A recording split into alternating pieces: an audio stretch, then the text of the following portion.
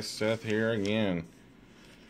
Ah, I just keep going back on my word, don't I, guys? Um, long story short, well, I can't make this a long story short. And uh, so I was supposed to hang out with a bunch of friends today. And one by one, they all backed out. Had other things that that suddenly just come up that they have to do. Some, you know, some people didn't even respond to me. Uh, we're, we're, supposed to all hang out and play Street Fighter, but uh, no one showed up. So I got bored, and I hadn't been to Bert's Blades in about a month. Um, for those of you who don't know, Bert's Blades is a pretty large knife store in Warner Robins, Georgia. He's got a lot of cool stuff, a lot of things that you know you can't really find anymore, or you know really hard to find. So uh, check him out. So I walked in there with the intention of finding a little budget automatic knife. I wanted it out the front. But I hadn't had stiletto, you know, Italian style switchblade in a really long time ever since I was a kid. And the ones I had were like really, I mean, like god awful cheap. The the friggin' spring was just stopped working after a while. It was just horrible. So I looked around, looked around. Uh, Bert wasn't there, so his, his wife was running the store, and I was like, "Do you have any automatic knives?" You know, save me the trouble from just looking at every single case.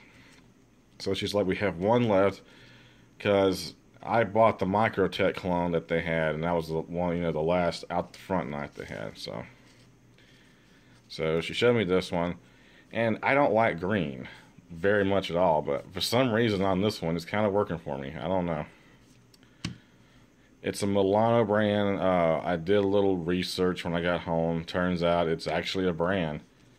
Um, I think it's made in Taiwan. I'm not really sure.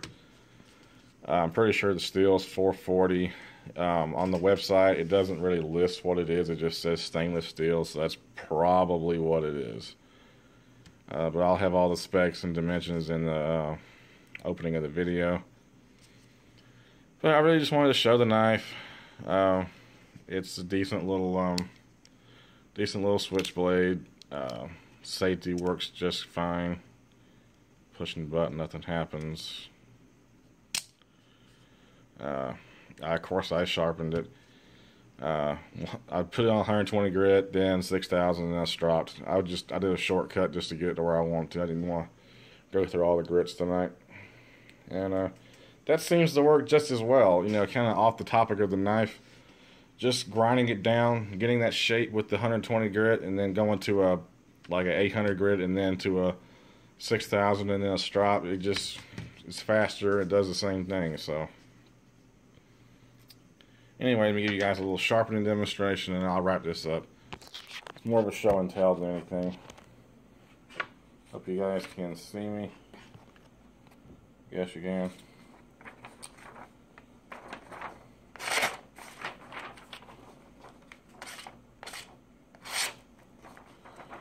Nice, got a little play in it.